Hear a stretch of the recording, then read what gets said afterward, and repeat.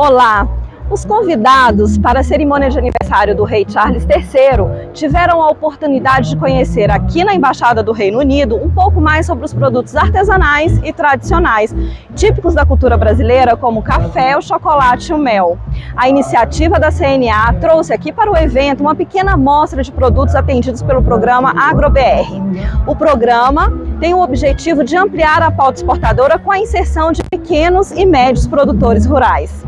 Hoje é nossa festa do rei. Eu queria agradecer a CNA para todo o apoio, parceria com a Embaixada do Reino Unido aqui no Brasil. Então, nós temos uma conversa muito aberta com o CNA, então muito obrigada pela parceria. A relação comercial entre Brasil e Reino Unido, além de histórica, ela é crescente. E hoje nós viemos aqui no dia de comemoração ao aniversário do rei Charles, em homenagem a esse valoroso parceiro comercial.